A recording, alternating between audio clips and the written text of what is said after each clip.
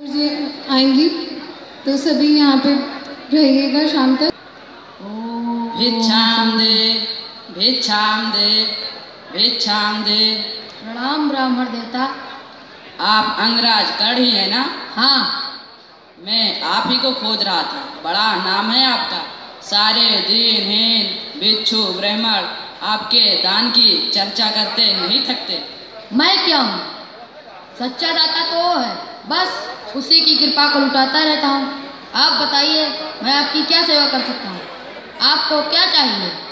गोधन, वस्त्र अन्न धन या स्वर्ण मुद्राएँ आपको जो चाहिए, आपको मिल जाएगा। मैं जानता हूँ अंगराज, इसीलिए तो मैं आपके पास आया हूँ। मेरी याचना तो को सिर्फ़ आप ही पूरा कर सकते हैं। मुझे अन्न, गोधन, सोना, चांदी, ये सब कुछ नहीं चाहिए। क्या हुआ? देवरा कर्ण मैं तुम्हें चुप देखकर निराश होने लगा हूँ।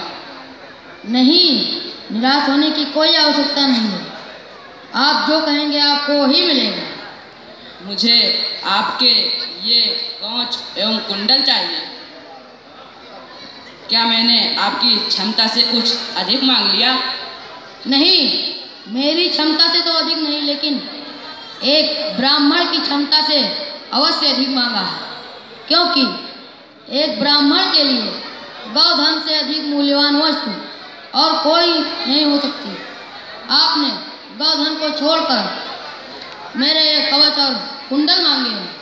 इस, कवच और कुंडल के बारे में कोई भिक्षु ब्राह्मण नहीं जान सकता। लेकिन एक योद्धा एक योद्धा इसका महत्व अवश्य जान सकता है। अर्थात अर्थात ये कि आप इस कवच कुंडल के महत्व को समझते हैं। आप ये क्या कह रहे हैं देवराज? मैं ठीक कह रहा हूँ देवराजेंद्र क्यों आप अपने ये स्वांग भिक्षु ब्राह्मण का स्वांग समाप्त कीजिए और अपने असली रूप में आइए।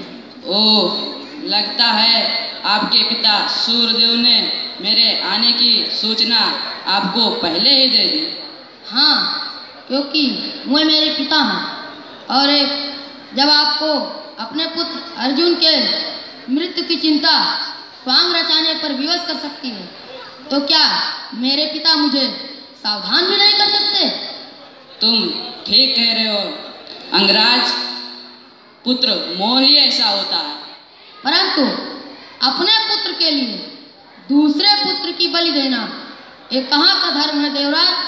मैं भी तो किसी का पुत्र हूँ, परंतु निराश होने की कोई आवश्यकता नहीं।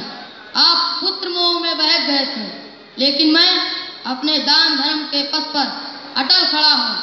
और मैं आप, ये मेरे कवच कुंडल, मुझे उतने ही प्यारे लगते हैं, क्योंकि ये प्राणों, बल्कि ये प्राणों की रक्षा करते हैं। बल्कि इसलिए, क्योंकि ये मेरे पिता द्वारा दिए गए वो वरदान हैं से उनके मन को असहनीय पीड़ा होगी। लेकिन फिर भी मैं अपने दान धर्म को निभाने के लिए तैयार हूँ। इसलिए आपको मैं अपना कवच और कुंडल अवश्य दूँगा जिससे मेरे पिता का सर देवलोक में गर्व से ऊँचा हो जाएगा और मेरे जीवन का सारा दान सफल हो जाएगा।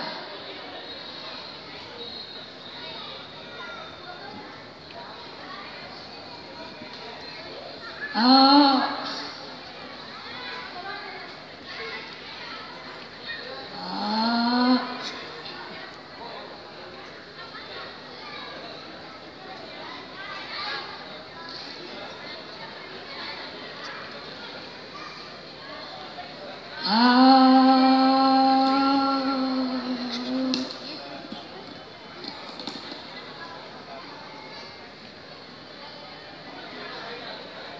हे अंगराज आपके इस दान ने आज इंद्राज, देव इंद्राज के झोली को भी छोटा कर दिया है।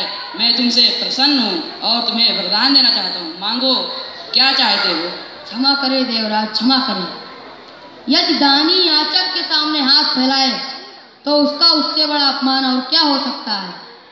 इसलिए मुझे आपसे कुछ नहीं चाहिए और मैं आपके सामने हाथ फैलाकर अपने दान धर्म के पथ को बदनाम नहीं कर सकता।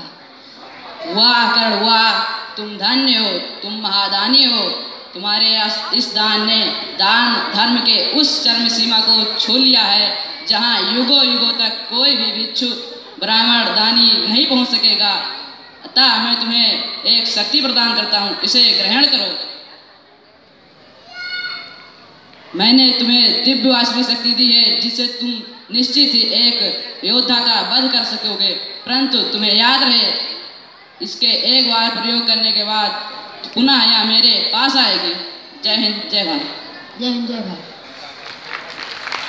जोरदार। क्या जोरदार तालियाँ इन बच्चों के लिए। आप जानते हैं